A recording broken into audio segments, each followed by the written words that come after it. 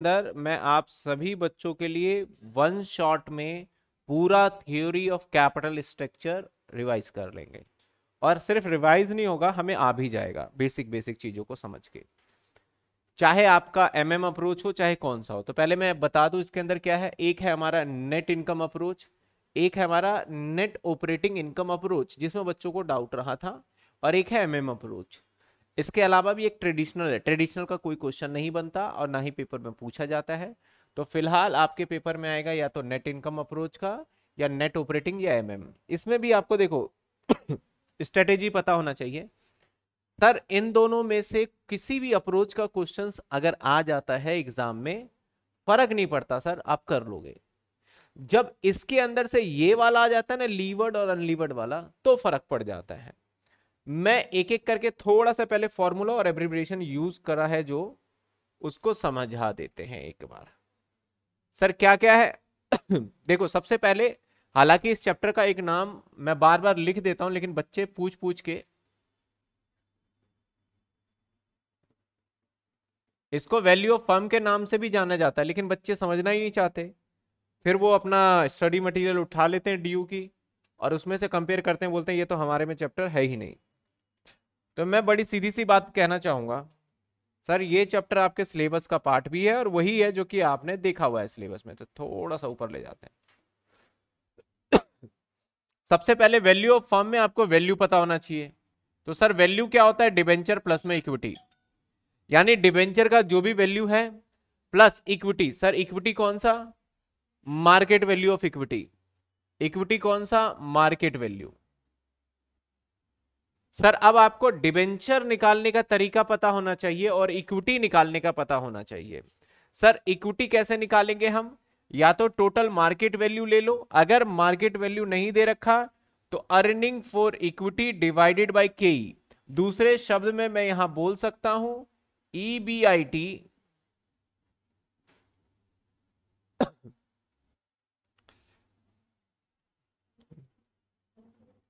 EBIT minus interest और या ये कंफ्यूजन ना हो जाए, मैं प्रैक्टिकल में लेके चलूँगा। चलिए। Sir earning for equity earning for equity आप सभी को पता है।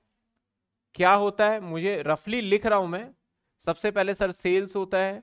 माइनस वीसी करते हैं। आता कंट्रीब्यूशन है। एफसी माइनस करते हैं।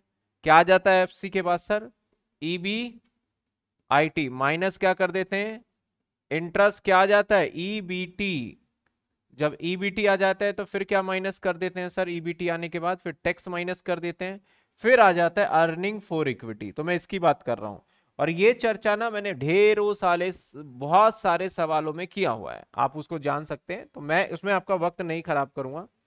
ये रिवीजन वीडियो सभी के लिए फ़ायदेमंद है वैसे तो। लेकिन स्पेशली उन बच्चों के लिए एक तरीके से बहुत फ़ायदा मिलेगा जिन्होंने थोड़ा बहुत पहले पढ़ा हुआ है थोड़ा बहुत यानी सर, आपको पहले डिवेंचर पता करना हो तो वैल्यू ऑफ़ डेट तो पता होता है, लेकिन पहले मैं इक्विटी की बात कर रहा हूँ। या तो लो, आप total market value of equity sir market value of equity कैसे निकालोगे? मैंने बोला हज़ार शेयर है मार्केट में पचास का बिक रहा है। निकल गया market value of equity divide कर दोगे अगर आप के से, दूसरा फॉर्मूला के निकालने का ही है। Earning for equity divided by K E कर देंगे तो ये आ जाएगा। सर, इसका डी बता दो। डी ऑलवेज गिवन होगा डेट का वैल्यू इन केस डी नहीं गिवन तो एक ये भी इस तरीके से भी डी निकाला जा सकता है। डी डेप्ट माइन डेप्ट मल्टीप्लाई टैक्स ये स्पेशल केस में लगेगा आपका, जब आपका एन ओ आई होगा। नेट ऑपरेटिंग इनकम अप्रोच होगा और वो भी पता है किसमें? लीवर्ड में। यानी सर यहाँ जगह छोड़ा हुआ अगर लीवर्ड हुआ तो सर लीवर्ड के केस में आपका अगर लीवर्ड हुआ तो लीवर्ड के केस में भाई अभी से डाउट आने लग गया। समझ में नहीं आ रहा। अभी चैप्टर स्टार्ट के बाद सभी का हैंड्रेज या डाउट वाउट कुछ भी लेंगे। उससे पहले कुछ भी नहीं। मैं यहाँ करा रहा हूँ क्या पूछ रहे हैं टाइम वैल्यू ऑफ़ मनी का डाउट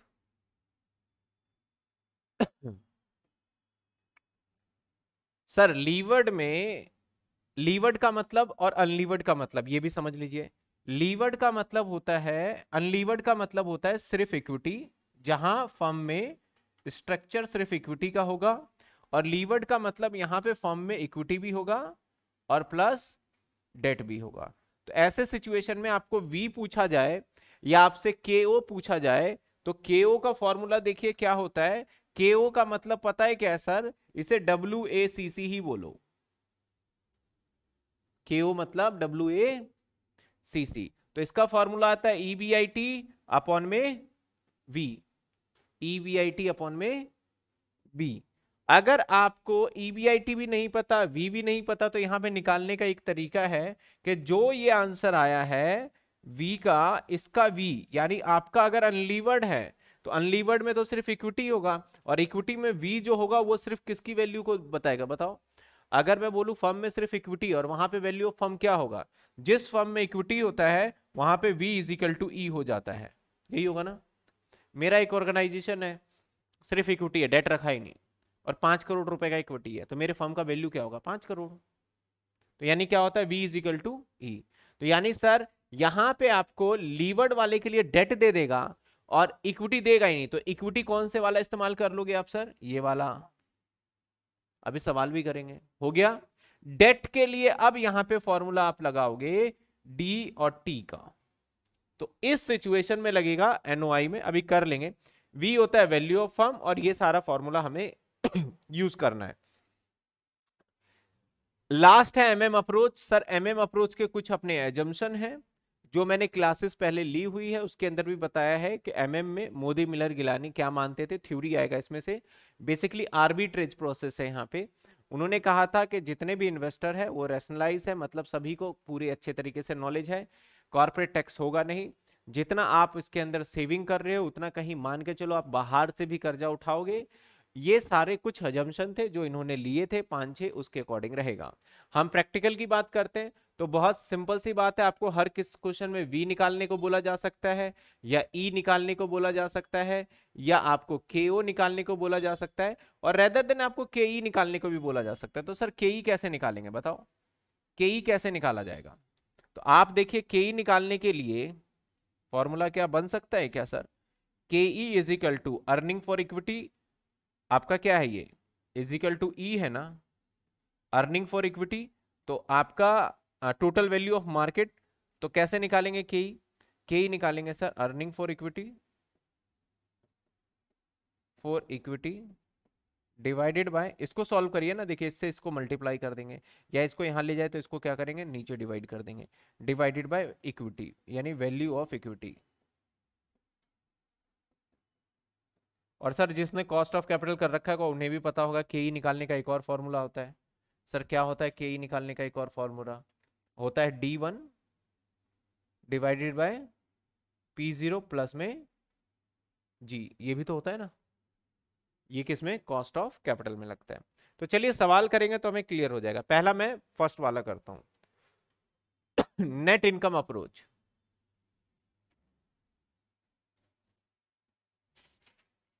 नेट इनकम approach.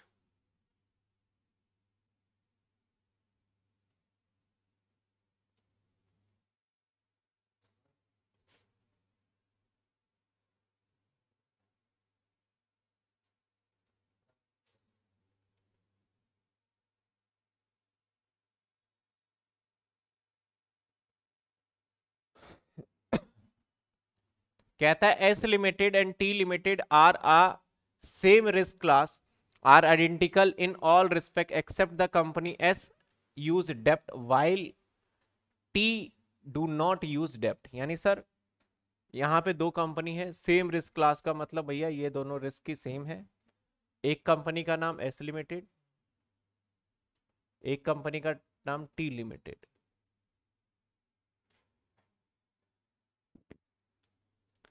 कहता है कि जो एस कंपनी है यूज़ डेप्ट कहता है ऑल रिस्पेक्ट एस के पास दोनों चीज़ें हैं। डेप्ट भी प्लस इक्विटी पे। और वाइल टी के पास डेप्ट है ही नहीं तो टी के पास क्या होगा सिर्फ़? इक्विटी कहता है द लीवर्ड फर्म यानी सर लीवर्ड कौन सा होगा? हमेशा याद रखना लीवर्ड फर्म कौन सा होगा सर? जहाँ पे हो डेप्ट प्लस इक्विटी। अनलीवर्ड कौन सा होगा? जहाँ पे हो सिर्फ़ इक्विटी। तो कहता था लीवर्ड फॉर्म तो बताइए मेरे दोनों में से लीवर्ड फॉर्म कौन सा है? एस लिमिटेड है या टी लिमिटेड है? ये हमारा जहाँ पे दोनों चीज़ें तो एस लिमिटेड हमारा लीवर्ड है। कहता है levered firm has nine lakh rupees debenture carry, ten percent rate interest. कहता है कि सर डिवेंचर है यहाँ पे। कितने डिबेंचर है सर? टेन परसेंट डिबेंचर और कितने रुपए का? नौ लाख का। आगे कहता है both of the firm earn twenty percent operating profit on their total assets दोनों फर्म हमारा अर्निंग करता है, यानी EBIT e sir twenty percent assets पे एसेट्स की वैल्यू कितनी है? पंद्रह लाख, इसका ट्वेंटी परसेंट मतलब सर, तीन लाख और तीन lakh. Both firm earn twenty percent profit assets के ऊपर और the company is the tax bracket thirty five percent and capitalization rate fifteen percent on all equity share के ही दे दिया इसने. के ही कितना दे दिया हमें? पंद्रह परसेंट। टैक्स रेट दे रखा है पैंतीस परसेंट कैपिटलाइजेशन रेट दे दिया। You are required to compute S limited का वैल्यू और टी लिमिटेड का वैल्यू तो सर वैल्यू क्या होता है? डी प्लस में ई e. इस वाली कंपनी में तो डी प्लस में ई e होगा, लेकिन इस वाली कंपनी में क्या होगा? सिर्फ़ ई e होगा, क्योंकि यहाँ पे तो सिर्फ़ इक्विटी है। तो फटाफट से हम ईबीआईटी में से हम सबसे पहले माइनस कर लेते हैं क्या? सर इंटरेस्ट सर इंटरेस्ट कितना होगा? इस वाले पे तो है तो पंद्रह कितने होंगे? एक लाख पैंतीस हज़ार। यहाँ होगा नहीं। अब ये आ गया अर्निंग बिफोर टैक्स माइनस करेंगे, तीन लाख में से एक पैंतीस तो कितने बचेंगे? एक लाख पैंसठ हज़ार और यहाँ पे सारा बच जाएगा तीन लाख।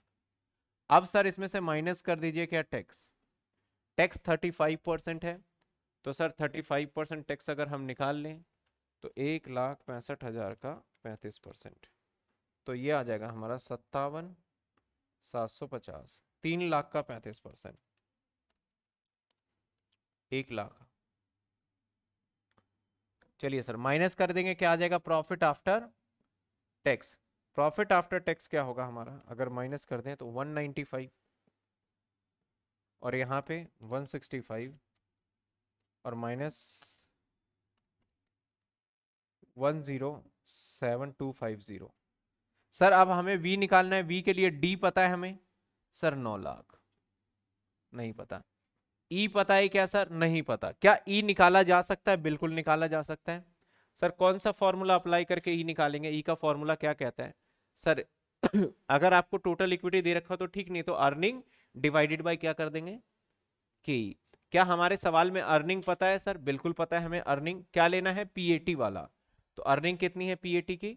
इस वाले केस में देखा जाए तो मैं यहीं पे निकाल देता हूँ। ई e क्या होगा हमारा? P A T divided by K E है ना? इस वाले केस में क्या होगा सर? इस वाले केस में पी ए टी है हमारा one zero seven two five zero divided by K E क्या है? पॉइंट वन फाइव ये आ गया सात लाख पंद्रह हज़ार। सर, इस वाले सवाल में क्या होगा? One ninety five divided by point one five ये आ गया सर तेरह लाख। ये कितने आ गए? तो सर, v निकाला जा सकता है। V क्या होगा? इन दोनों का टोटल इन दोनों का टोटल क्या होगा? नौ और सात सोलह लाख। और इसका तेरह लाख अगर मैं सवाल में के ओ भी पूछ लू तो के ओ क्या होता है हमारा? V divided by EBIT divided by v के का फॉर्मूला क्या बताया था? देखिए। के ओ का फॉर्मूला देखिए। ईवीआईटी अपॉन में तो क्या यहाँ पे के ओ निकाला जा सकता है?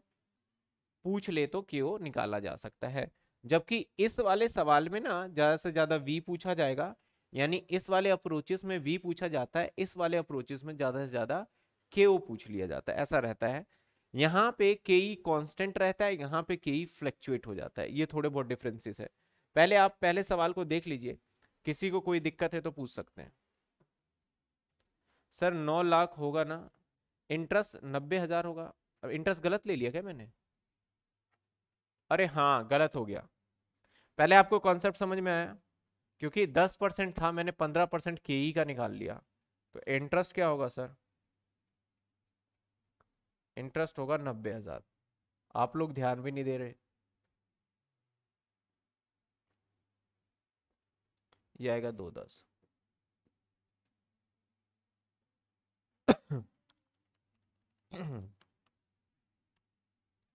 तिहत्तर पाँच सौ।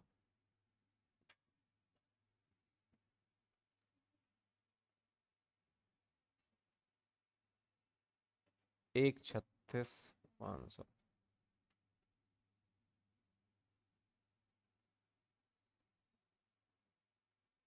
एक छत्तीस पॉइंट वन फाइव। नौ लाख दस हज़ार। सर, अठारह लाख दस हज़ार। देखिए कोई डाउट सर टेन ईयर में फॉर्मूला डिफरेंट है। क्या डिफरेंट है, बताइए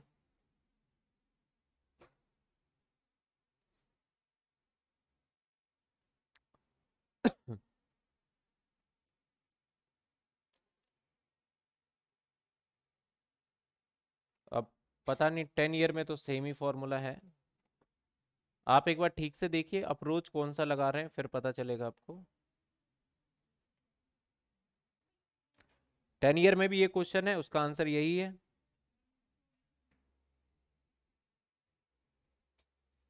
के ओ ई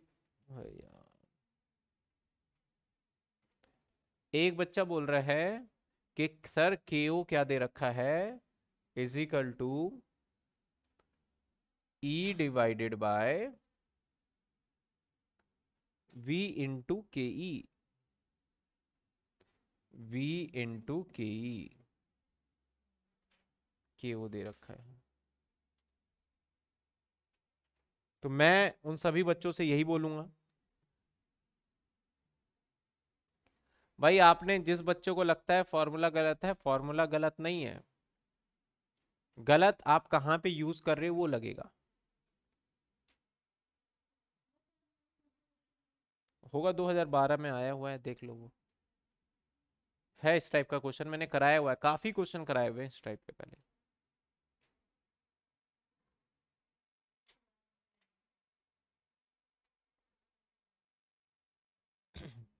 बच्चे कह रहे हैं, सर नेट ये तो नेट ऑपरेटिंग इनकम का है।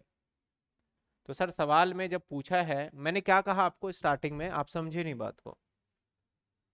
मैंने कहा कि फ़र्क नहीं पड़ता, आपको जैसे मर्ज़ी मेथड बोल दे, या बोल दे आपको नेट इनकम अप्रोच या नेट ऑपरेटिंग इनकम अप्रोच, कोई भी बोल दे। आपने फॉर्मूला पुट करके आंसर निकालना है। बस थोड़ा ध्यान रखना है, नेट ऑपरेटिंग इनकम अप्रोच में, देखो, मैंने यहाँ पे सिंपल लिखा है, ये दोनों एकदम इक्वल है। अब सर, कुछ बच्चे बोल रहे हैं, सर, नेट ऑपरेटिंग इनकम का भैया किसी का भी हो, सॉल्यूशन यही आना है इसका, आप उसको देख सकते हैं। दूसरे तरफ़ हाँ लीवर्ड और अनलीवर्ड नेट ऑपरेटिंग इनकम का होता और इसके साथ साथ कंडीशन ये भी है कि आपका लीवर्ड में इक्विटी नहीं गिवन होता। लीवर्ड में इक्विटी नहीं गिवन होता, तब लगाएँगे। अभी एक दो सवाल और करने दो, आप नहीं तो कंफ्यूज होते रहोगे और टाइम जाएगा सिर्फ़। अगला क्वेश्चन कहता है कि O I limited being a risk class 10 percent expected EBIT of four lakh its employ dept in the capital structure find इसका एम्प्लॉय का डेप्ट है कैपिटल स्ट्रक्चर में find value of the firm cost of equity यानी के if employ dept extent of 20 percent thirty five percent और 50 percent of total आपका financial required rupees आपको यहाँ पे दे दिया उसने। कितने रुपीस की रिक्वायरमेंट है? 20 लाख की। तो ऐसे सवाल में आपके तीन सवाल हो गए। एक, दो, तीन।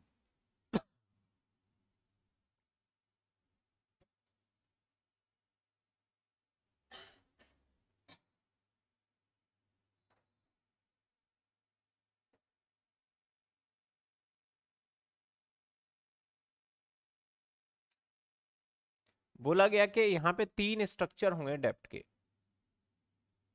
बोलता है इंप्लॉय एट परसेंट डेप्ट in the capital structure eight percent डेप्ट का रेट है। Find out the value of firm अगर एम्प्लॉय डेप्ट extent of twenty thirty five और फिफ्टी कहता है अगर हम ट्वेंटी परसेंट डेप्ट रखे, तब बताइए। थर्टी फाइव डेप्ट रखे तो बताइए। और फिफ्टी परसेंट डेप्ट रखे तो बताइए। टोटल फाइनेंशियल रिक्वायरमेंट कितने हैं सर बीस लाख रुपए। बीस लाख का ट्वेंटी परसेंट क्या होता है? तो मैं मान लू कि एट परसेंट डेप्ट सर, एट परसेंट डेप्ट है, बीस लाख का ट्वेंटी परसेंट कितने? चार लाख। बीस लाख का थर्टी फाइव परसेंट कितने? सात लाख। बीस लाख का पचास परसेंट कितने? दस लाख। तो पहले यहाँ तक देखिए इसका कहने का मतलब ये है। बाकी बैलेंस इक्विटी होगा, लेकिन वो मार्केट वैल्यू ऑफ़ इक्विटी नहीं होगा, नॉर्मल इक्विटी होगा। बाकी बैलेंस हमारा इक्विटी होगा, लेकिन नॉर्मल इक्विटी होगा। सर, नॉर्मल इक्विटी कितना होगा? यहाँ सोलह लाख होगा, यहाँ तेरह लाख होगा, यहाँ दस लाख होगा। यानी बीस लाख रुपए में इस तरीके से लेके चलने वाला है। पहले बताइए, समझ में आया ये? अरे यार, सर एमएम अप्रोच से प्रैक्टिकल नहीं आएगा क्या? मैंने सबसे पहले ही बोला हुआ है, इसलिए पूरी क्लासेस देखो। आप एमएम देखेंगे ना इसका तो मैंने स्पेशली बोला हुआ है, कोई आए चाहे ना आए एमएम आएगा। तो मैंने अभी एम ऐसा तो नहीं है एमएम नहीं कराया एमएम करेंगे अभी। अभी हुई है क्लास स्टार्ट। तो देखिए इधर उधर के क्वेश्चंस रिवीजन क्लास में हमें क्या करना चाहिए, सर? जो चीज़ कराया जा रहा हो, उसे ऑब्ज़र्व कर लीजिए। आप जो बच्चे, मैंने कहा, जो बच्चे सिर्फ़ पहली बार क्लास देख रहे हैं ये, उनको इतना बेनिफिट नहीं होगा। हाँ जो बच्चों ने आधा अधूरा भी क्लास देखा है, वो पूरा बेनिफिट ले पाएँगे। उनका पूरा क्लियर हो जाएगा। जिसने पूरा देखा हुआ है, उनका पक्का ही हो जाएगा। लेकिन जिन बच्चों ने क्लास नहीं देखा तो वो बस कंफ्यूज रहेंगे। तो इसलिए क्लासेस हैं अवेलेबल फुल लेक्चर आप देख सकते हैं वहाँ पे। सर, दोनों केस में क्या पूछता है कंपनी का? कहता है कि find out the value of firm and cost of equity तो सर, सबसे पहले ईबीआईटी e ले लो ऐसे क्वेश्चनों में तो। सर ईबीआईटी e क्या बोलता है? कितने परसेंट है? फोर लैख का कितने परसेंट टेन परसेंट मतलब? तो हर जगह यही रहेगा।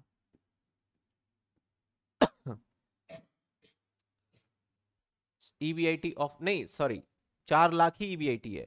कहता है कि belongs the risk class of ten percent and expected EBIT four lakh चार लाख चार लाख हर जगह चलिए सर। माइनस क्या कर दें? आठ परसेंट है तो पहले कितना माइनस होगा? सात परसेंट है तो कितना माइनस होगा? सात लाख पे छप्पन हज़ार और इस पे कितना माइनस होगा? फटाफट माइनस कर दीजिए इसको। तो ये क्या आ जाएगा? ई e तो three sixty eight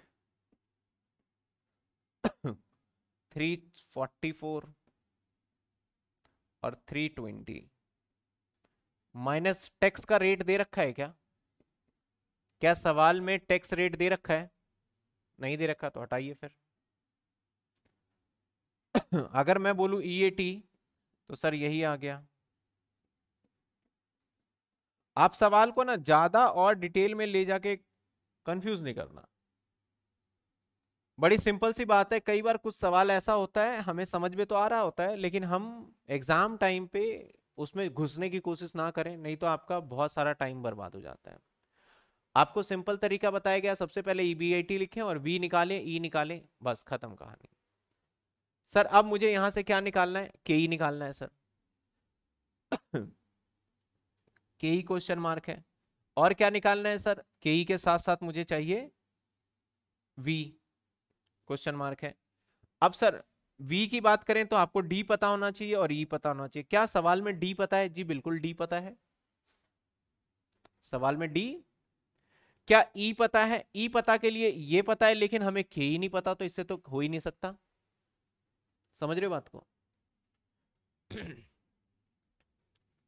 एक और तरीका है हमारे पास जो हमें टेन परसेंट दे रखा है। आप सवाल में देखेंगे तो आपको यहाँ पे टेन परसेंट गीवन है, सर। टेन परसेंट क्या गीवन है ये? के ओ गीवन है। टेन परसेंट जो आपको गिवन है ना, ये गीवन है हमें के ओ टेन परसेंट जो है, ये है के ओ तो सर, आपको के ओ भी दे रखा है। मैंने हालाँकि नहीं लिखा, यहाँ लिख देते हैं के ओ तो आप मुझे एक बात बताइए V is equal to D plus में E होता है। अगर मैं आपको ये दे दूँ और ये दे दूँ तो क्या ये फाइंड कर पाओगे? अब सर V निकालना इंपॉर्टेंट रह गया। V निकालने का फॉर्मूला क्या लिखवाया था देखिए। एक तो सर V ऐसे निकाला जा सकता है दूसरा V निकालने का तरीका कहाँ गया कहाँ गया? आ, कहीं बताइए निकाल सकते हैं इस तरीके से। हाँ एक यहाँ लिखा है मैंने। मतलब इसी को थोड़ा सा इधर उधर करके फॉर्मूला लिख दिया। E B I T upon में क्यू तो सर, मैं यहाँ पे वी निकाल दूँ हर क्वेश्चन में तो वी निकाला जाएगा, सीधा डायरेक्ट वी आ जाएगा क्या? E B I T upon में क्यू तो पहले केस का निकाल लेते हैं। पहले केस का निकाल लेते हैं। ई बी आई टी लेना है तो चार लाख पॉइंट वन, दस लाख। चार lakh point one. Point one में दस लाख कैसे हुआ?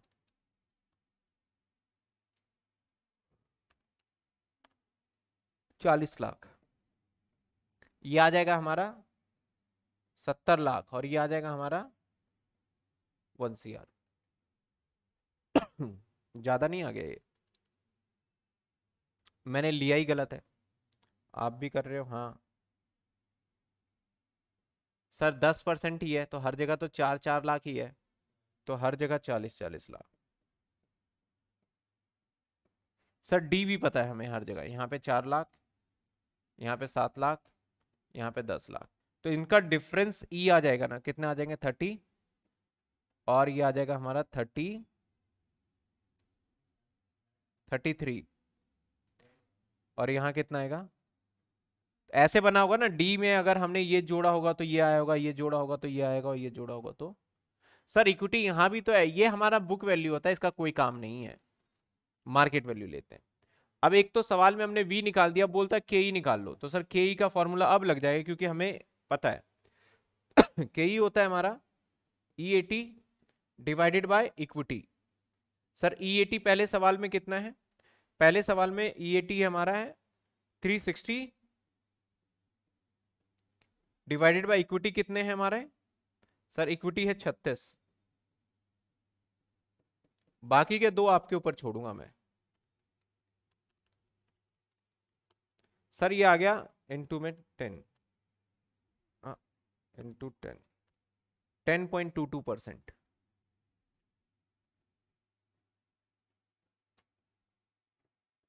के ही आ गया ten point two two percent दूसरे का कैसे निकाले, sir? 344 divided by 33 lakh into में 10.42 परसेंट तीसरे का 320 divided by divided by 30 lakh.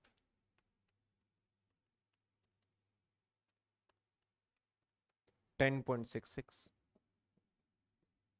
ये इक्विटी आ गया।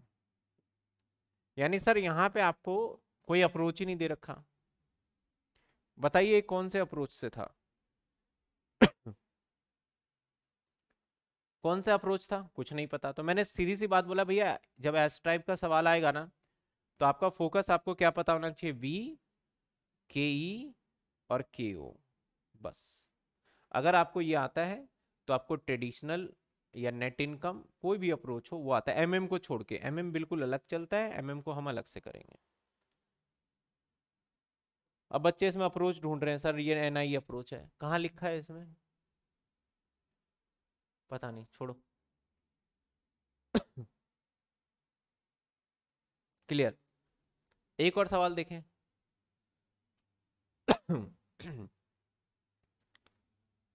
Eight point four.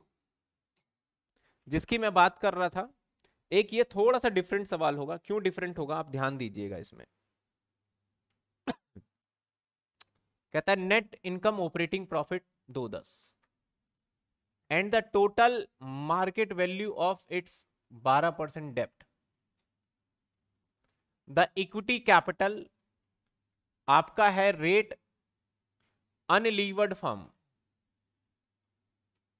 firm of same risk class 16 percent find out the value of the firm levered और किसका? टैक्स रेट कितना है हमारा? बूथ फर्म का ये। पहले हम बना लेते हैं इसके लिए, जो काम करते थे टेबल टाइप का बना लेते हैं ताकि अच्छा हो जाए हमारे लिए काम। ये याद रखिएगा, ये सवाल वेरी इंपॉर्टेंट रहता है क्योंकि इसमें कॉन्सेप्ट है। अगर एक्सपेक्टेड कहेंगे ना तो एक मेरे को लगता है कि ये सवाल आपके पेपर में पूछा जा सकता है। एक्सपेक्टेड क्वेश्चन है ये।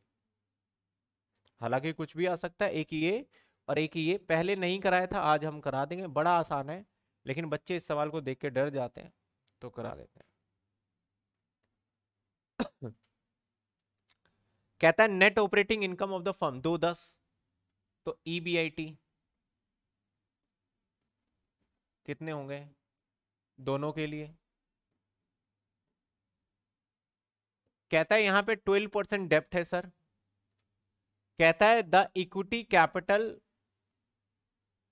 rate of an unlevered firm unlevered firm का जो के ई है, of the same risk class 16 percent, जो अनलीवर्ड का के ई है, वो कितने परसेंट है?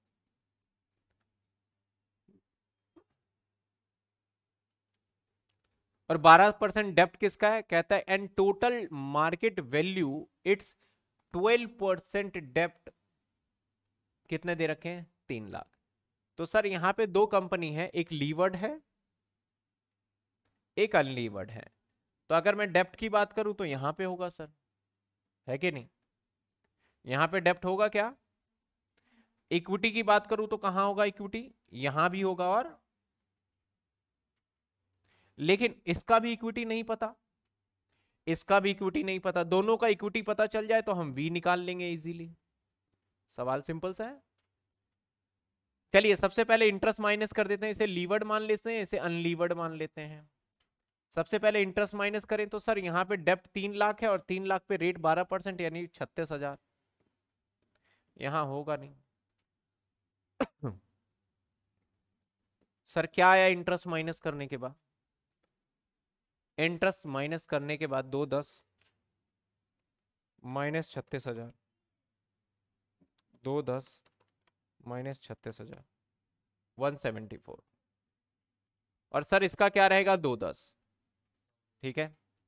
और मज़े की बात देखो जो के ई बोल रहा है ना ये ये सिर्फ़ उसने अनलीवर्ड फर्म के लिए डिनोट किया है के ई। अगर लीवर्ड फर्म का भी 16 होता तो, तो निकाल ही लेते सर वो पीछे जैसा क्वेश्चन हो जाता। है ये बोलता है एक के लिए सिर्फ़ लीवर्ड के लिए।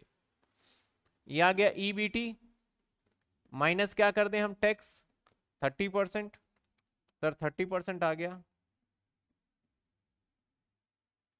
माइनस करके आ गया। यहाँ पे देखा जाए, दो दस का थर्टी परसेंट। माइनस करके आ गया।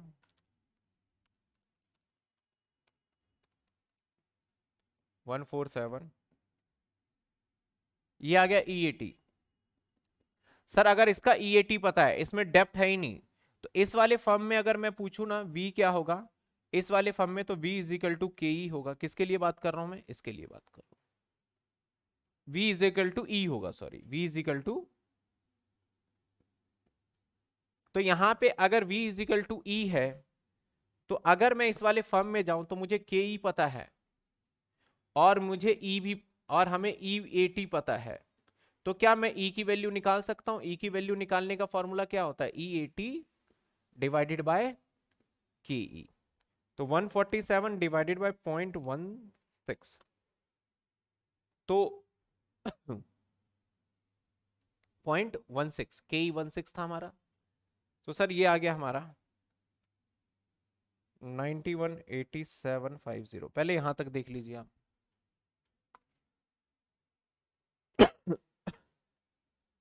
Ninety one eighty seven five zero. यहाँ तक देखिए। यहाँ तक सवाल समझ में आया तो हम आगे बढ़ेंगे। सवाल को समझिए। अब मैं इसी के जैसा सेम सवाल दिखाऊँ आपको। अभी करा है।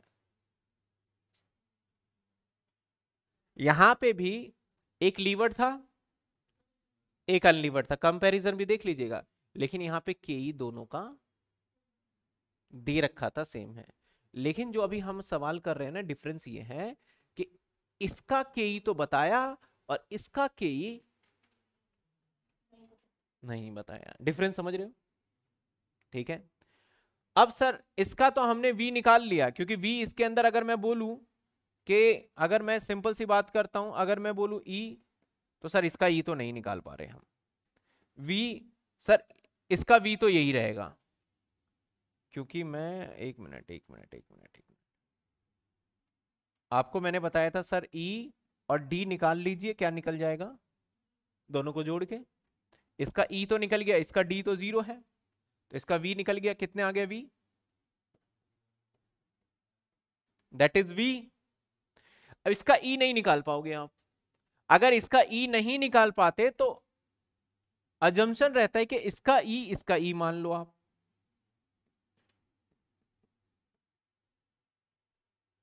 पहली चीज़, समझे? और जो डी होगा इसका तो इसके अंदर ये वाला फॉर्मूला लगाओगे डी के लिए, दूसरे वाला स्पेशल फॉर्मूला जो लिखा है। यानी लीवर्ड और अनलीवर्ड का केस आ गया इक्विटी क्वेश्चन मार्क आ गया तो क्या लगाओगे? ये फॉर्मूला लगाओगे, और इस फॉर्मूले के लिए मैंने बताया था आपको डी क्या लिखना है? डी इंटू में टी लिखना है। डी इंटू में तो सर यहाँ पे जो डी इंटू में टी आएगा तो क्या आएगा सर? यहाँ का डी कितना है हमारा? सर डी दे रखा था क्वेश्चन में, देखिए, तीन लाख। तो तीन लाख इंटू में टी कितने परसेंट था? पॉइंट थ्री पॉइंट थ्री तो कितने होते हैं? तीन लाख इंटू में पॉइंट थ्री बताइए। नब्बे हज़ार।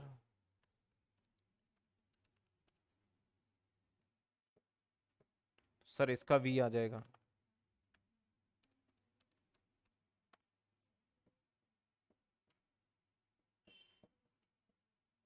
अब सर इसका, इससे ऊपर कोई क्वेश्चन बनता ही नहीं है इन तीनों मेथड के अंदर। एक सवाल और देख लेंगे अभी, फिर देख लेंगे। बताइए कोई दिक्कत।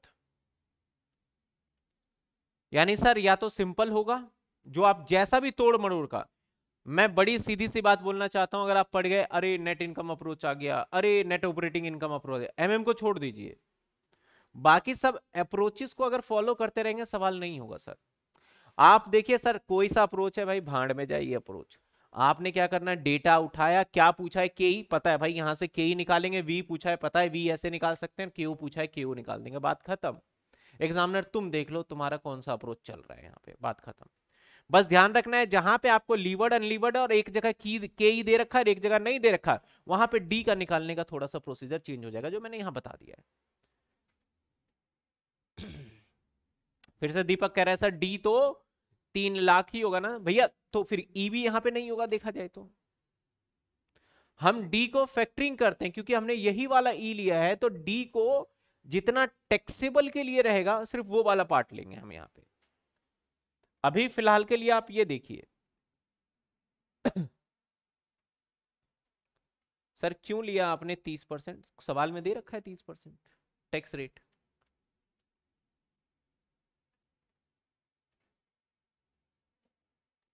मैं सभी बच्चों को बोलना चाहूँगा, आप पैटर्न को पकड़िए। अब बच्चे इसमें उलझे रहेंगे ना, सर, ये क्यों लिया? आप जो मैं कॉन्सेप्ट क्योंकि अभी जो रिवीजन का स्ट्रेटेजी होता है ना, मेरा कोशिश रहता है कि सवाल को एक घंटे, देखो ये चैप्टर चला था एक हफ़्ता। एक हफ़्ते दोबारा चलाऊँगा तो अगला पेपर भी आ जाएगा फिर तो। तो मेरा कंसेप्ट है कि भैया पेपर ऐसा आ सकता है तो ऐसे करना है और ऐसा आ सकता है तो ऐसे करना है, इन दोनों में से ही कोई टाइप आएगा, बात खत्म।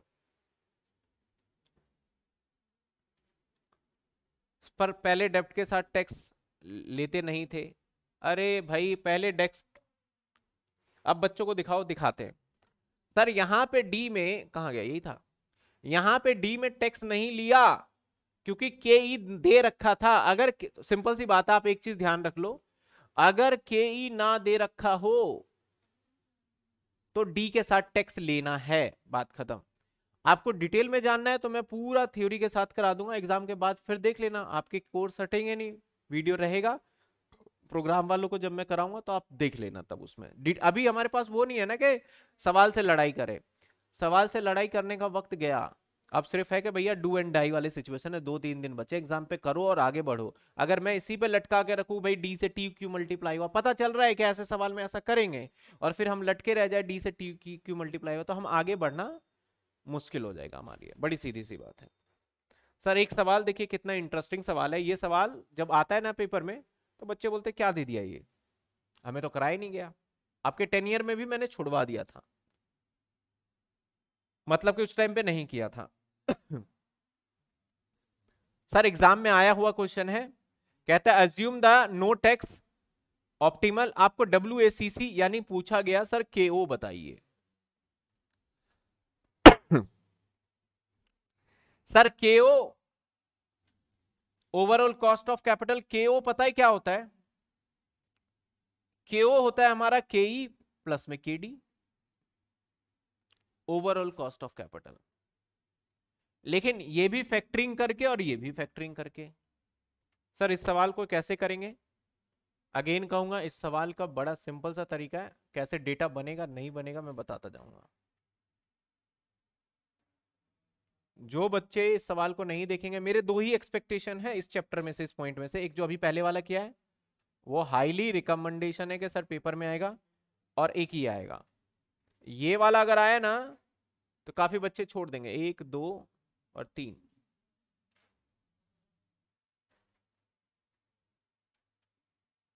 चलिए।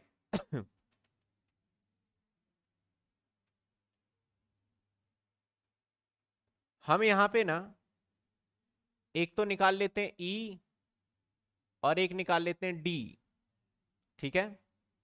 दो लाइन और खींची लेते हैं।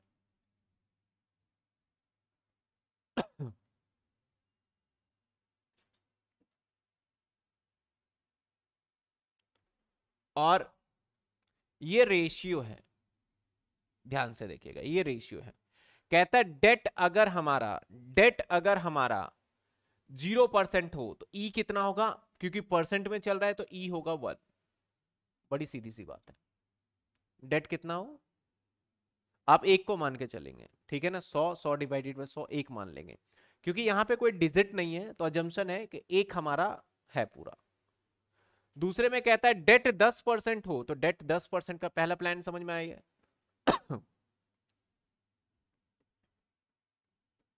पहले में ज़ीरो परसेंट था दूसरे में कितने परसेंट बोल रहे हैं? अगर डेट हो तो ये हो जाएगा सर ज़ीरो पॉइंट और ये हो जाएगा ज़ीरो पॉइंट पहले डेटा बनाइए आप। समझ रहे हो? क्योंकि सर एक रुपए है आपके पास, दस परसेंट डेट है तो भैया दस परसेंट डेट है तो नब्बे परसेंट क्या होगा? इक्विटी हो जाएगा। सर बाकी बोलता अगर बीस परसेंट हुआ तो बड़ी सीधी सी बात है, ये हो जाएगा ज़ीरो पॉइंट एट और ये हो जाएगा ज़ीरो पॉइंट अच्छा सर। अगर सर तीस परसेंट हुआ तो बड़ी सीधी सी बात है, ये ज़ीरो पॉइंट और ज़ीरो पॉइंट थ्री। सर, चालीस परसेंट हुआ तो तो ये zero point six, zero point four. पचास परसेंट हुआ तो सर, ज़ीरो पॉइंट और ज़ीरो पॉइंट, सर, साठ परसेंट हुआ तो zero point four, zero point four, six. पहले तो ये समझिए कि इतना डेट होगा, अगर ये डेट का परपोर्शनेट हो तो डेट इक्विटी इतना इतना रहेगा, फिर हम उसके कॉस्ट की बात करेंगे। डेट इक्विटी इतने इतने रहेंगे, फिर कॉस्ट की बात करेंगे।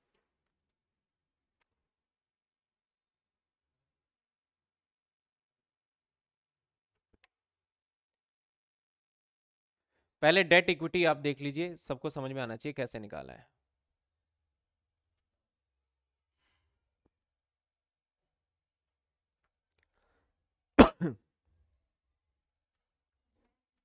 समझ गए ये पॉइंट सर, अब यहाँ पे सवाल में आपको केडी भी दे रखा है।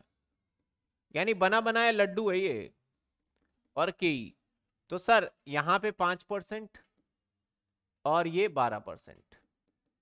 यहाँ पे पाँच परसेंट, फिर बारह परसेंट। यहाँ पे पाँच परसेंट और फिर बारह पॉइंट पाँच। यहाँ पे फाइव पॉइंट फाइव परसेंट और थर्टीन पॉइंट ज़ीरो यानी तेरह।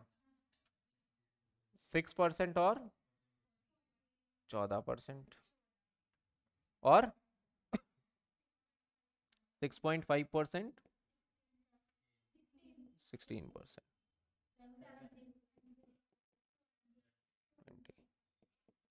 देखिए, ये क्योंकि रिवीजन है तो एक छोटा सा, काफ़ी बच्चे सवाल पूछेंगे। तो पूछने से पहले मैं बता दूँ डब्ल्यू ए सी सी पूछा है, यानी के ओ पूछा है। और नॉर्मल सा के ओ की बताएँ तो पहले हम क्या लिखते थे यहाँ पे? फंड लिखते थे याद है? सोर्स ऑफ़ फंड फिर अमाउंट लिखते थे, फिर कॉस्ट लिखते थे, फिर प्रोडक्ट लिखते थे। और सोर्स ऑफ़ फंड में हमारे पास क्या है? सर यहाँ पे डेप्ट भी है और इक्विटी भी है। पहला सवाल, अगर मैं डेट की बात करूँ तो डेट तो हमारा है ज़ीरो इक्विटी है एक रुपया। कॉस्ट की बात करें तो ये कितना हो जाएगा? ज़ीरो। इक्विटी का हो जाएगा ज़ीरो पॉइंट वन टू। अब इसको मल्टीप्लाई करते थे तो क्या होगा? अगर इससे मल्टीप्लाई करोगे तो क्या होगा? Zero point one two. अब प्रोडक्ट इसका क्या होगा? Zero point one two. Formula क्या था? सिग्मा एफ़ एक्स का। Zero point one two divided by इसका टोटल क्या है? वन। इंटू में हंड्रेड दैट इज़ कितने परसेंट आ गया? ये आता है। सबने करा है, नहीं करा, अब उसके लिए देखिए शॉर्टकट हमें क्या करना है? इसको इससे मल्टीप्लाई करना है दैट्स इट और फिर इसको इससे मल्टीप्लाई करना है, दोनों को जोड़ देना है। यही तो किया है मैंने, दोनों को मल्टीप्लाई करके जोड़ देना है। मैंने बोला, सर सर, जो V होता है ना हमारा, या फिर के ओ जो होता है ना, वो के ई का टोटल प्लस में के डी का टोटल होता है। तो यहाँ वाले सिचुएशन में देखिए 12 इंटू में 12 तो यहाँ पे मैं निकाल रहा हूँ डब्ल्यू ए सी सी कह लो या के ओ कह लो। तो यहाँ पे तो डेट तो है नहीं तो पहले इसको इससे मल्टीप्लाई किया तो 12 परसेंट, पहले का आंसर डन टेन ईयर में है ये सवाल। अगला कैसे करेंगे सर? सर, पहले इसको इससे मल्टीप्लाई करो। के ई को के ई से और के डी को और दोनों को जोड़ो। यानी क्योंकि कितने सवाल है? एक, दो, तीन, चार, पाँच छ सात। सात सवाल को ये मेथड अप्लाई करेंगे तो भैया एक ही सवाल होगा फिर तो। तो हम अगर इसको इससे मल्टीप्लाई करें तो point one two point one two into में पॉइंट नाइन एक मिनट ट्वेल्व इंटू में पॉइंट नाइन हाँ ये इसका टोटल क्या आ गया? लेकिन बच्चों को बता भी तो दू, ग्यारह पॉइंट तीन कैसे है, नहीं तो फिर पूछ लेंगे। देखिए, हमने इक्विटी को लिया तो सर इक्विटी का आया बारह इंटू में point nine that is ten point eight फिर डिबेंचर का लिया, पाँच इंटू में पॉइंट एक that is zero point five इनको जोड़ दिया तो thirteen point sorry eleven point thirteen आ गया। समझे? अगला भी ऐसे निकाल लोगे आप। ग्यारह आ गया अगला। इसके बाद वाला। सात इंटू में तेरह तेरह इंटू में पॉइंट सेवन। सर, ये नाइन पॉइंट वन आ गया और फाइव पॉइंट फाइव इंटू में थ्री बता दो कितना आ जाएगा। कितना आ रहा है बता दीजिए। वन पॉइंट तो वन पॉइंट सिक्स फाइव इन दोनों का जोड़, किसका? डेट का, केडी का। वन पॉइंट तो sir ten point seven five आएगा। टेन पॉइंट सेवन फाइव आएगा। परसेंट है ये सारा, ना?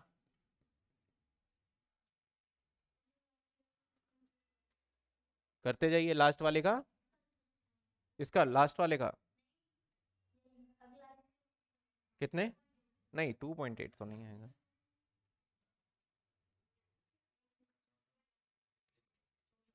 Sir E levered from different E A T both different and we took E E of levered firm will be different as E A T of both different अभी देखते हैं क्या बोल रहे हो साक्षी, अभी देखते हैं।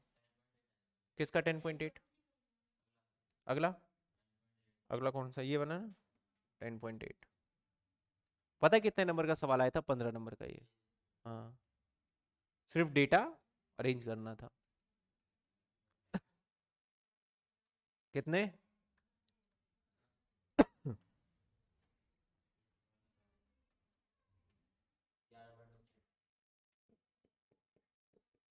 आगे।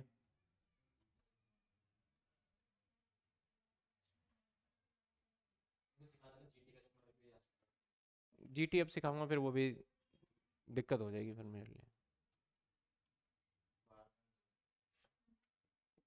सर मैं बात करूँ? ये दो मेथड ख़त्म। इसके अलावा कुछ नहीं है इसमें। आप टेन ईयर का कोई भी सवाल उठा लीजिएगा, हो जाएगा आपसे। ठीक है? अगली बात कर लेते हैं एमएम। ये तो इससे भी आसान है। चलिए सर। अगली बात करेंगे एमएम की।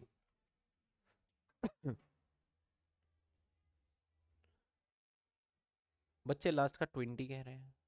हिना ट्वेंटी कह रही है। सर आपने के ई को ई मान लिया? नहीं नहीं नहीं नहीं नहीं नहीं, नहीं। के ई देखिए दे रखा है। ई मतलब इक्विटी और डी मतलब डिबेंचर या डेप्ट तो सर यहाँ पे कोई वैल्यू नहीं है तो एक रुपया मान के कर लिया हमने।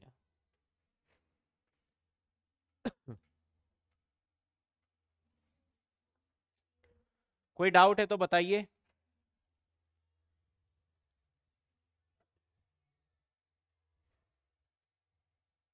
8.4 कौन सा अप्रोच है? एनओआई अप्रोच था 8.4 एनओआई मैंने बोला अप्रोच के चक्कर में मत पड़िए, वो एनओआई था वैसे।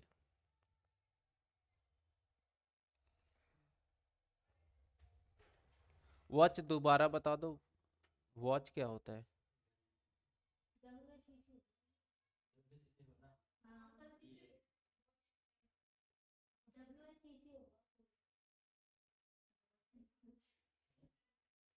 भारत मुझे समझ में नहीं आया।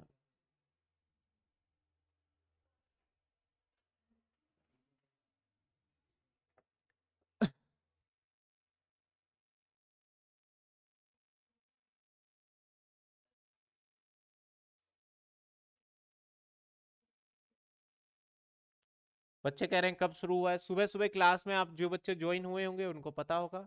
मॉर्निंग में मैंने थ्योरी की वीडियो ली है और वो अपलोड भी कर दिया है आपके जाके देख सकते हो। थ्योरी पढ़ना कैसे है ऑनर्स वाले बच्चों को। दूसरा, आज मैं ये ख़त्म करूँगा, फिर cost of capital last revision में करवा पाऊँगा आपको कल।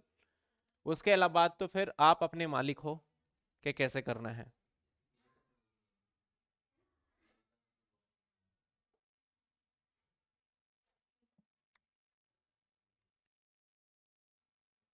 वो क्यों नहीं यूज़ किया? सर, एनओआई में आपने लीवर्ड फर्म के फॉर्मूले बताए थे। दीपक, अगेन एक बार आप कॉल कर लीजिएगा, मैं समझा दूँगा आपको। ई कैसे आया, सर? भाई, बच्चों को पूछना है, ई कैसे आया? ई हमने माना है, E is equal to let one. हमने माना है कि फर्म का ना, फर्म का टोटल पैसा एक रुपया है, हमने माना है। तो जहाँ पे डिबेंचर है ही नहीं तो फर्म के पास इक्विटी कितना होगा? एक रुपया। जहाँ पे दस परसेंट है तो फर्म के पास नब्बे पैसा इक्विटी होगा और दस परसेंट डेप्ट होगा, यानी दस पैसे का। यहाँ पे लेट एग्जामेशन लिया है। लेट फर्म को पास फंड जो है ना, वो एक रुपया है तो एक रुपये को प्रपोर्शनेटली बांटे तो क्या होगा? बड़ी सीधी सी बात है।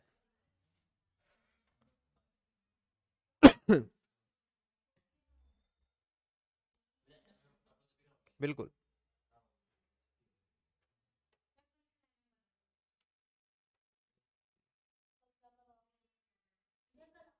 कल कॉस्ट ऑफ़ कैपिटल। हम्म। अभी बता देते हैं, रुक जाइए, पहले मैं इनका देख लू ना।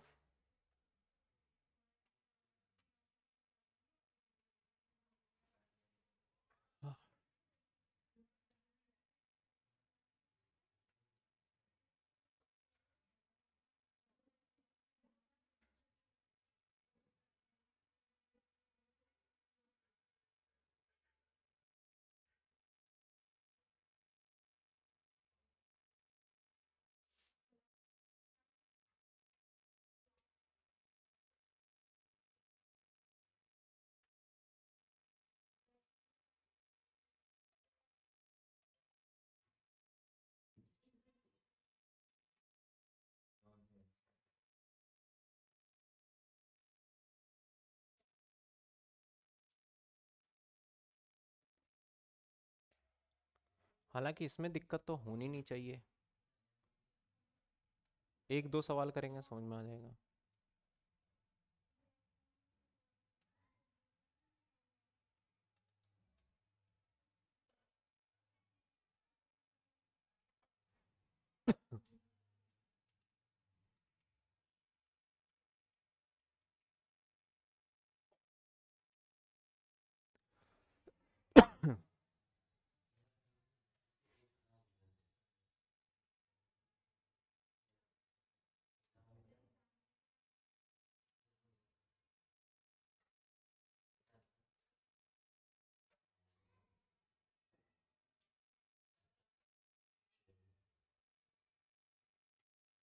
हम्म अच्छा इसके बाद है ना चैप्टर तो।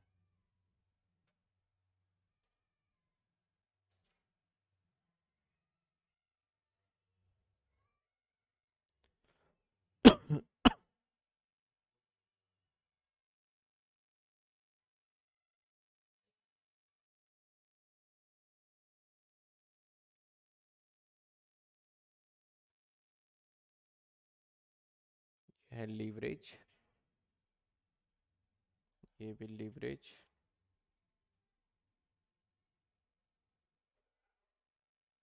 अरे, ये फिर दोबारा यहाँ पे बैक पीरियड कहाँ से आ गया?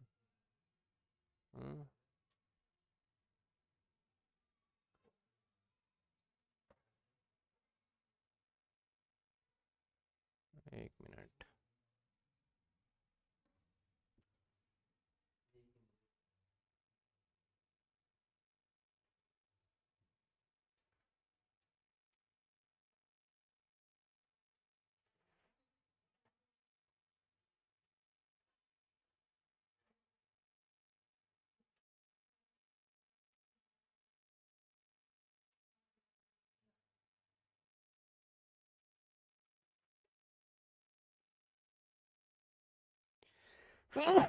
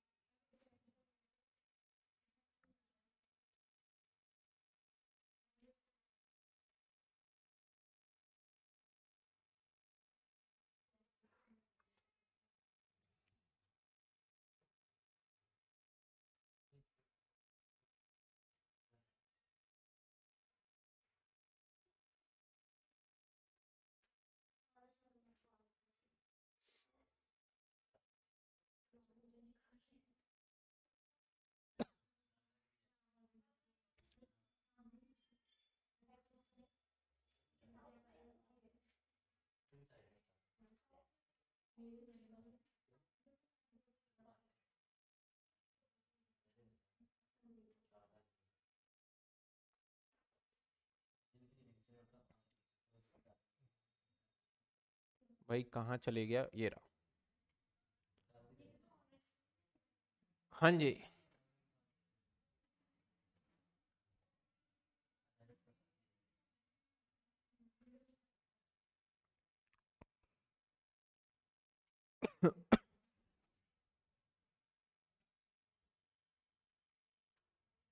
चलिए।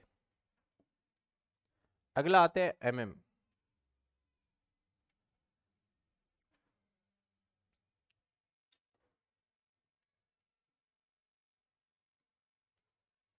आपके टेन ईयर का सवाल है ये।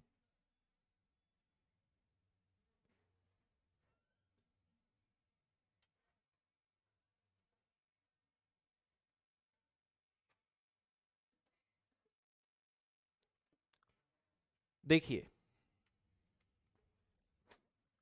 एमएम का क्या कहना था?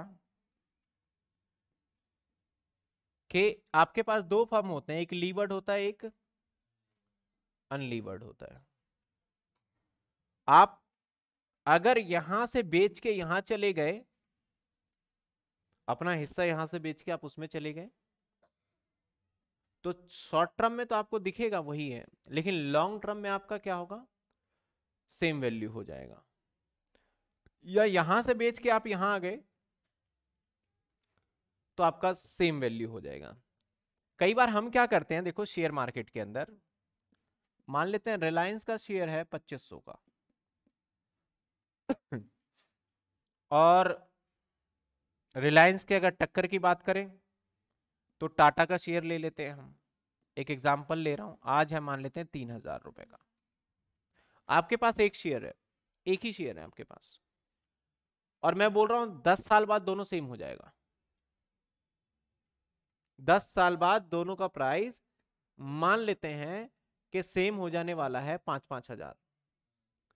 तो आज आप चला के दिखाओगे। क्या करोगे? ये वाला फट से बेच दोगे? नहीं सॉरी ये वाला बेच दोगे? कितने पैसे आगे जेब में? और फटाफट से क्या खरीद लोगे? तो आपने कितने कमा लिए? पाँच सौ रुपए। लेकिन फ्यूचर में इसका वैल्यू क्या हो जाना है? पाँच हज़ार। तो एम यही समझाने की कोशिश करता है कि भैया, अभी आप बेचो, खरीदो, कोई फ़र्क नहीं पड़ता। करंट लेवल पे आपका क्या हो जाएगा? सेविंग हो सकता है, लेकिन फ्यूचर में उसका वैल्यू क्या हो जाएगा? सेम। आपके पास दो ऑप्शन है। आप जो यहाँ पैसा बचा रहे हो तो एक काम कर सकते हो, आप पूरे तीन हज़ार यहाँ लगा दो। पूरे तीन हज़ार रुपए यहाँ पे लगा दो। कोई फ़र्क नहीं पड़ता है। तो एमएम का कहना था, बाकी एमएम के सवाल हमने जो फोल्डर में डाला हुआ है वीडियो के अंदर, सही तरीके से बिल्कुल है। बच्चा इस चैप्टर को देख के कहा टर्न अराउंड हो जाता है, कहाँ से बैक हो जाता है, जो अभी करवाया। इसके बाद वाला बहुत आसान है। देखिए, क्या कहता है सवाल में? क्वेश्चन में कहता है आपका द टू कंपनी एक यू कंपनी एक L company belonging equivalent class risk का साथ है firm identical in respect of U unlevered L ten percent debenture आपका डिबेंचर तीस लाख का है एल में। और the other information being relevant कहता है कि सर नेट ऑपरेटिंग इनकम है डिबेंचर है, सब कुछ आपको हालाँकि इन्होंने दे दिया। कहता है investor want ten percent equity share of company L limited तो एल लिमिटेड से क्या करना चाहता है? Show the arbitrage process and amount which was could be reduce outlay through the use of levered ये यहाँ से यहाँ जाना चाहता है।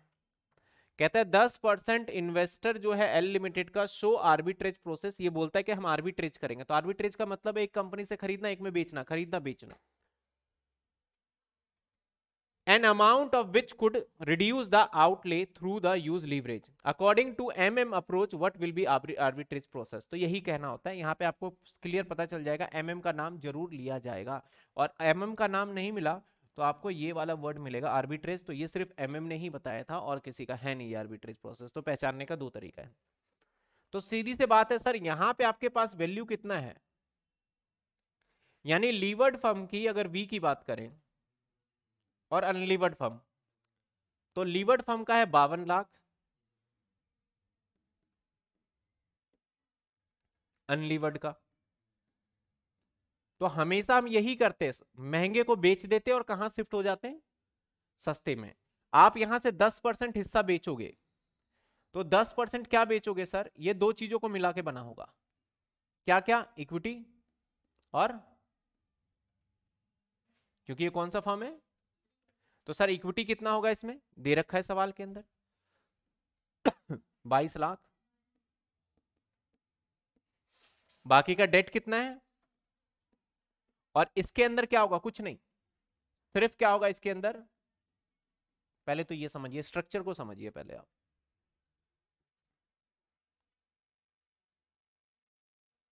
स्ट्रक्चर को समझिए पहले आप।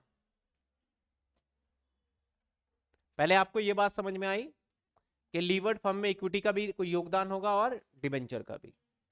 और जबकि अनलीवर्ड में सिर्फ़ क्या होगा? अब आप महँगी वाली कंपनी कौन सी है? बताइए इन दोनों में से। लीवर्ड?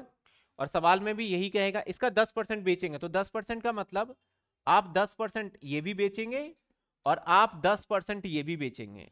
यानी यहाँ से पैसे निकाल लेंगे बाईस पाँच सौ रुपए और यहाँ से पैसे निकाल लेंगे आप तीस हज़ार रुपए। तीस हज़ार या तीन लाख? तीन लाख रुपए। मैंने शायद गलत तो नहीं ले लिया, दो पच्चीस। तो सर टोटल कितना निकल जाएगा आपका?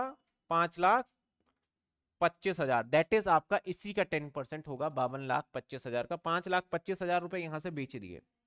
आपके पॉकेट में कितने पैसे हैं? बताइए।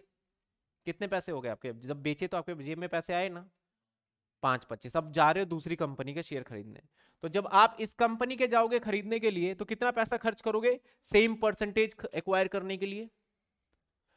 यहाँ पे कितने परसेंट एक्वायर कर रखा था आपने?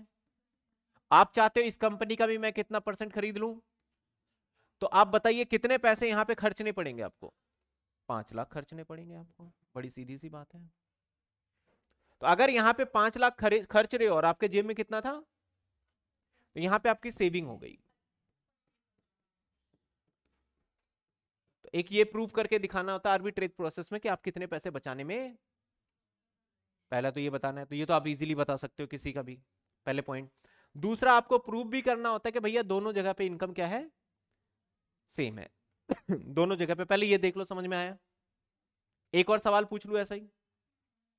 हालाँकि इस क्वेश्चन में आपको ये सब निकाल के दे रखा है। अगर नहीं निकाल के देता तो आपको निकाल लेना क्योंकि ये तो पता ही है सर, अगर ये दे रखा हो तो के कैसे निकालेंगे? के डी वही सारा जो ट्रेडिशनल वो नेट इनकम अप्रोच या ऑपरेटिंग अप्रोच में सीखा था। चलिए सर।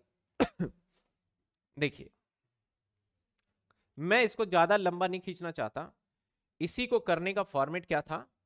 सर, इन्वेस्टर ने 10 परसेंट शिफ्टिंग किया कितने का? ये और ये। पहले ये दोनों बातें समझ में आई, जो कि मैं आपको समझा रहा था यहाँ पे।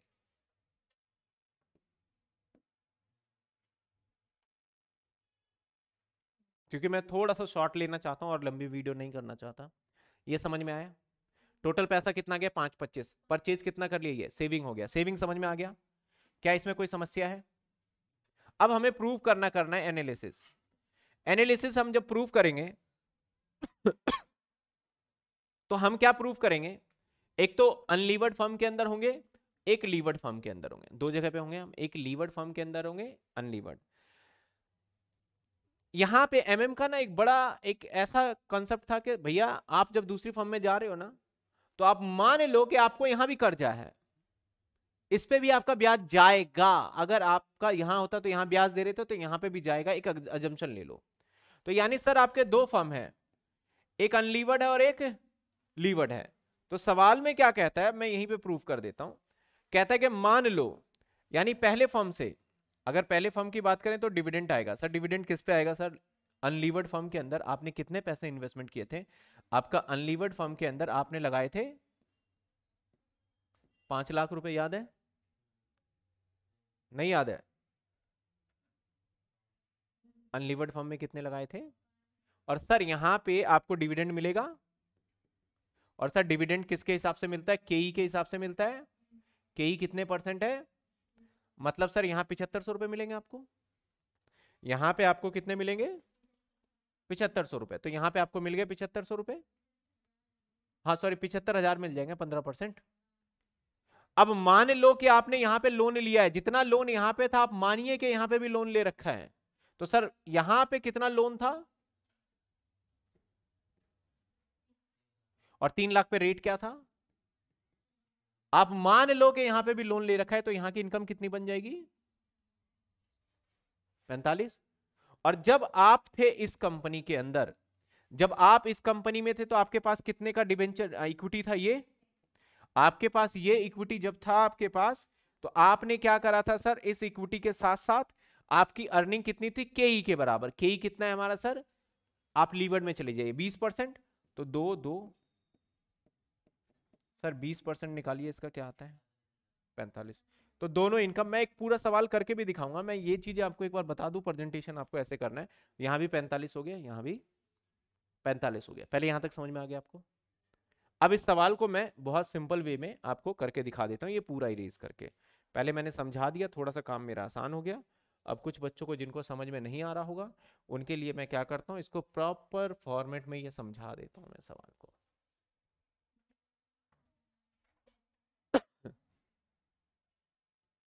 सर, इसके अंदर इस सवाल को करने के लिए दो स्टेप होंगे। नंबर एक, सेविंग निकालोगे। नंबर दो आप प्रूफ करोगे। ठीक है ना? पहले हम निकाल लेते हैं सेविंग। सेविंग कैसे निकालते हैं? हमारे ओल्ड कंपनी में जो हमारे इन्वेस्टमेंट है, उसको पता करो। ओल्ड कंपनी में हमारा इक्विटी भी था और ओल्ड कंपनी में डिबेंचर भी था। ओल्ड कंपनी में इक्विटी कितना था, सर? ओल्ड कंपनी का अगर मैं बात करूँ तो 22 लाख पचास हज़ार, जिसका हमने कितने परसेंट बेच दिया? Ten percent. That is old company का इक्विटी आ गया दो लाख पच्चीस हज़ार। ओल्ड कंपनी के डिबेंचर की भी बात कर लेते हैं। तीस लाख था, इसका भी आप दस परसेंट हिस्सा बेचोगे दैट इज़ तीन लाख रुपए। सर, कुछ बच्चे ये ना समझे कि सर, दस परसेंट ये वाला रेट है क्या? नहीं सर, दस परसेंट जो ये कर रहा है, उसकी बात चल रही है यहाँ पे, इस बात का ध्यान रखना। यानी फंड आपके पास आ गया कितना? सर फंड आ गया पाँच लाख। पच्चीस हज़ार। आपको इन्वेस्ट करना है दूसरी कंपनी में, सर दूसरी कंपनी का वैल्यू कितना है? सर पचास लाख। इन्वेस्ट करना कितने परसेंट है? सेम, दस परसेंट। तो यानी कितना इन्वेस्ट कर दोगे सर? पाँच लाख। तो आपकी क्या निकल के आ गई?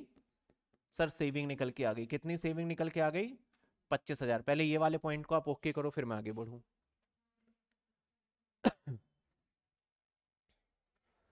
सर ये क्वेश्चन इंपॉर्टेंट है, महा इंपॉर्टेंट।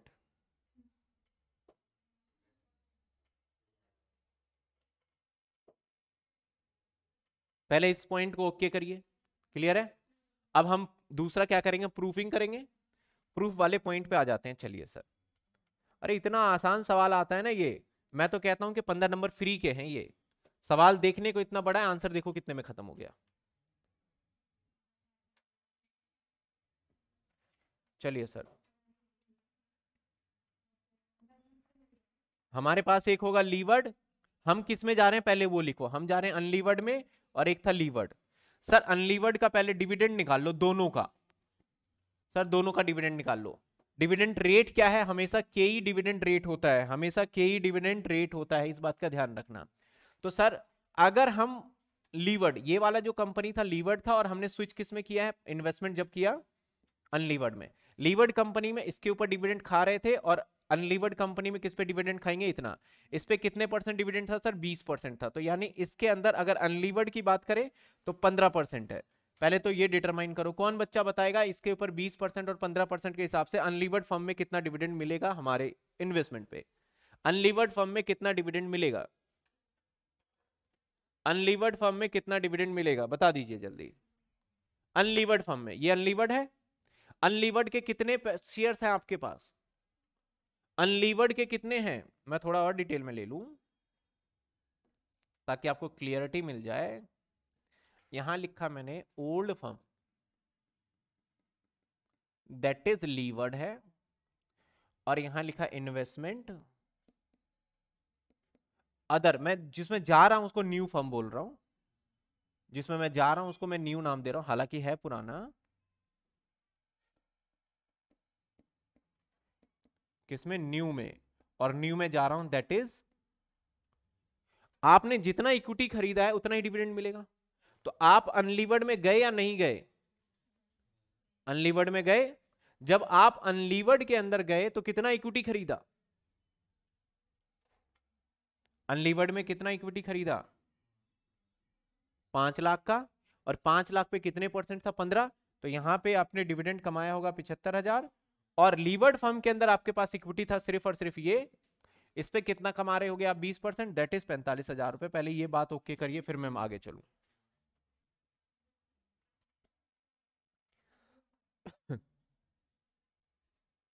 ये पॉइंट ओके है तो आगे चलें।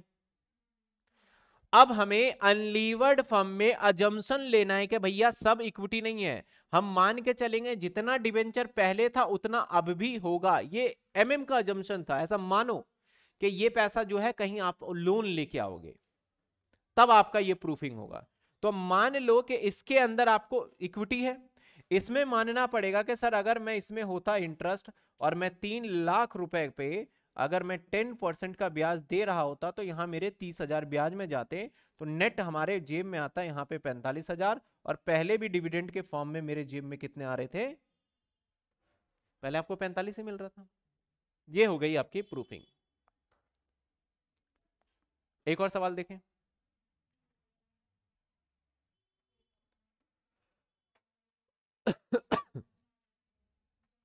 चलिए।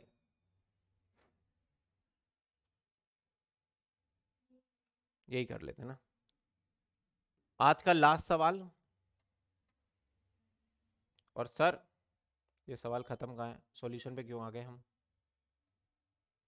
Question.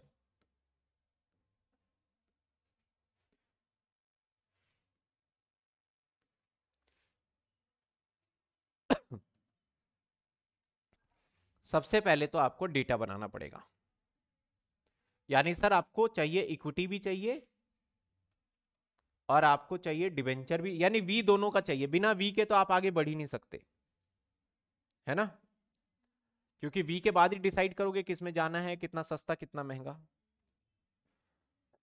There are two company L and U both company are identical और respect expect the company L limited debt L के अंदर सर डेट है। कितना डेट है एल लिमिटेड में? तीस लाख। सर रेट क्या रहेगा उसका? और सेम कहता है both company earning seven fifty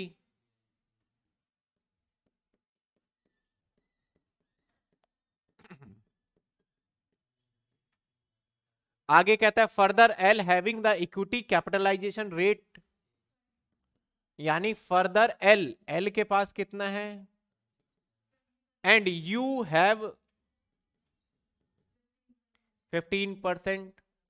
Illustrate using mm approach how the investor 10 percent share l limited, better by switching over u limited. यानी l से बेच के कहा जाएगा?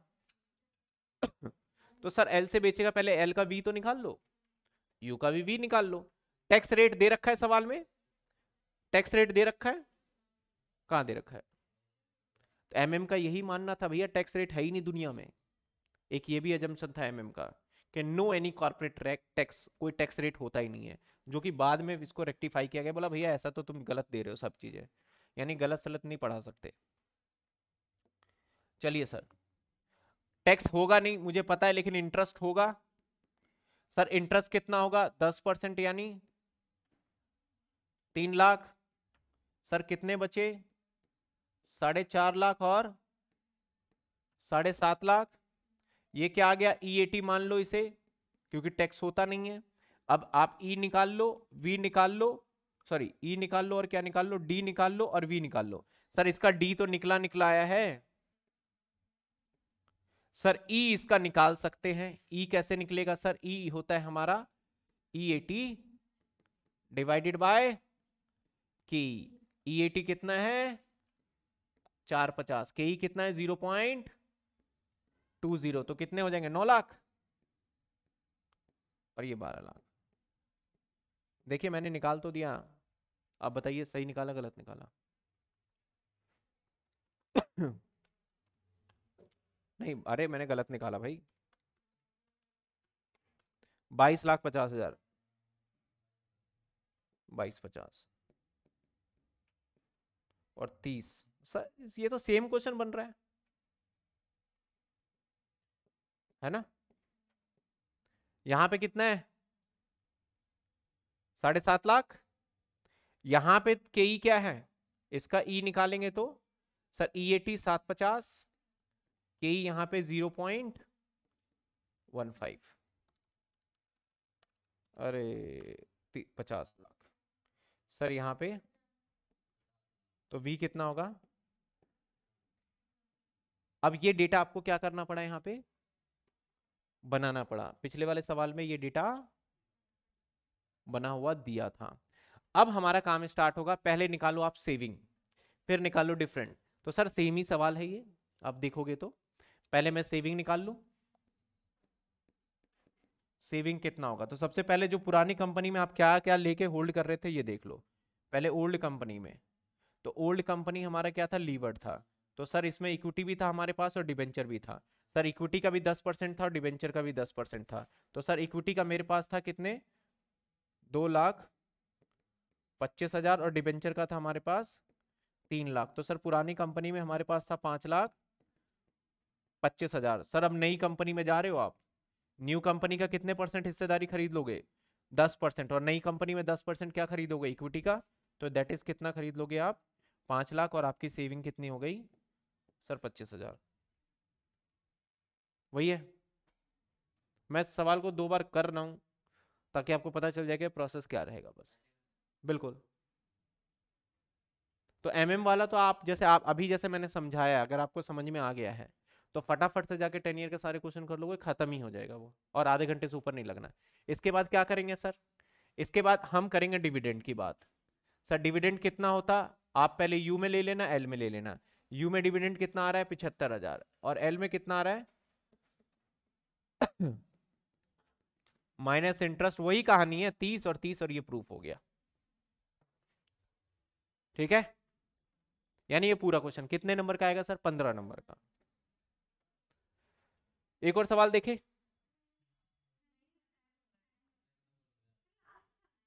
लास्ट था, देखो अभी एक और देख लेते हैं, यहीं पे पढ़ लेते हैं, ठीक है? आगे नहीं जा रहे, यहीं पढ़ लेते हैं।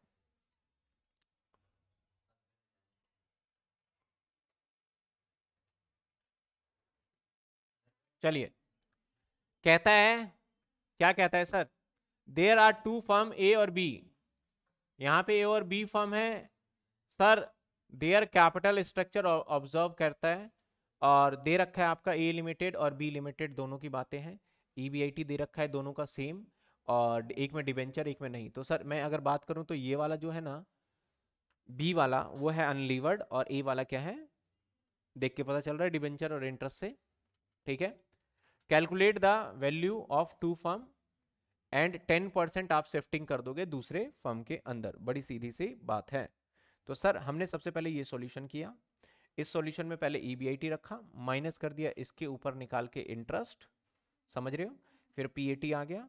अब यहाँ पे केई रख दिया हमने। केई रखने के बाद इक्विटी की वैल्यू आ गई दोनों की। और उसके बाद यहाँ डिबेंचर पहले से पता था, यहाँ पे वी निकाल लिया और यहाँ के निकालने की नो नीड टू फाइंड के अगर क्वेश्चन में बोला हुआ है के निकालो देन निकालो अदरवाइज़ मत निकालो, इसकी कोई ज़रूरत नहीं, ये मैंने एक्स्ट्रा निकाल के दिखा रखा है। यहाँ तक समझ में आया? वही प्रोसीजर है पहले वाला। अब निकाल लेंगे क्या? हमें कहाँ से कहाँ जाना है? सर ए से जाना है किसमें? बी में। तो यहाँ से बेच के यहाँ जाएँगे? तो सिंपल सी बात है, यहाँ पे आप बेचेंगे कितना? इक्यासी हज़ार। अगर आठ लाख बारह हज़ार पाँच सौ है तो इसका दस परसेंट आप बेचेंगे? इक्यासी हज़ार दो सौ पचास। बेच दोगे पैसे आगे पॉकेट में? और सामने वाली कंपनी की कितनी वैल्यू है? अब यहाँ खरीद लो दस परसेंट तो कितना खरीदोगे? तो आपके पैसे बच गए ना? कितने बच गए? तो वही चीज़ प्रूफ करके दिखा रखा है यहाँ पे, देखिए सवाल में, कि सर, वो समझने का बस नज़रिया है। ये क्या हो गया? 1250 की सेविंग। यहाँ पे बस इक्विटी अलग कर देना, लोन पे अलग दिखा देना। इसके बाद प्रूव करना है। सर, अब इसके अंदर आपका क्या था? पाँच हज़ार का डिविडेंट आएगा और इसमें दस हज़ार का डिविडेंड आएगा। क्योंकि यहाँ ट्वेंटी परसेंट था।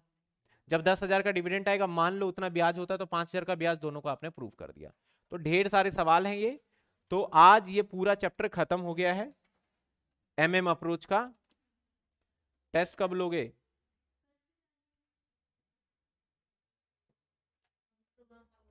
बिकॉज़ एनओआई अप्रोच के एसीसी को फॉर्मूला डिफरेंट है। भाई, जिसका डिफरेंट है, आप मुझे व्हाट्सअप करिए। व्हाट्सअप पे मैं रिप्लाई कर दूँगा और 28 तारीख को मैंने बोला हुआ है, जितने बच्चे सुबह नहीं थे। 28 यानी कल ही है। कल एक मैं कॉस्ट ऑफ़ कैपिटल को, जो कन्फ्यूज़न है ना बच्चे को कि सर डब्ल्यूएसीसी में, सिर्फ़ डब्ल्यू पे जंप करूँगा मैं उसमें जल्दी जल्दी। उसमें कन्फ्यूज़न है के ई के डी के लेके तो ये मैं बता दूँगा। दूसरा, उनतीस तारीख को आपका सिर्फ़ डाउट सेशन होगा। क्लास कुछ भी नहीं रहेगा, डाउट सेशन कैसे लेना है, वॉइस एसएमएस डाल दूँगा। कल की टाइमिंग। कल डे है एमडब्ल्यू एफ़ है ना?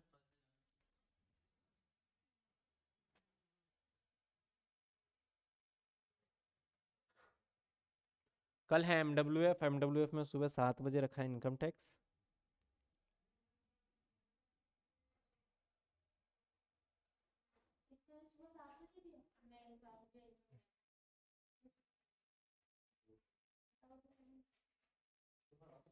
अगर मैं आठ बजे जाऊँ। नौ बजे निकलना है।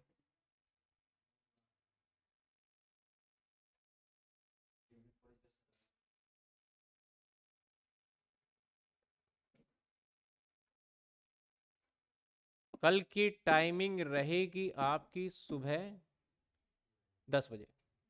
हम्म। कल की टाइमिंग सुबह दस बजे।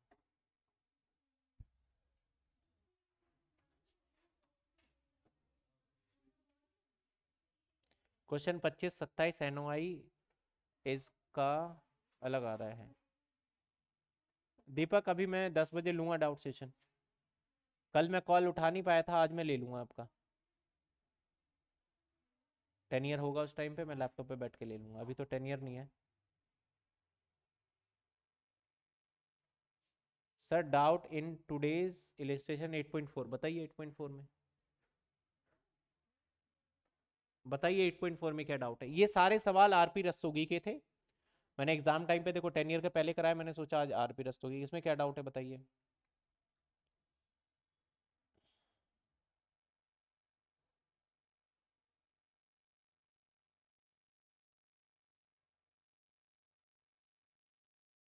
कल इवनिंग में नहीं है। सिर्फ़ मॉर्निंग में एक क्लास रहेगी।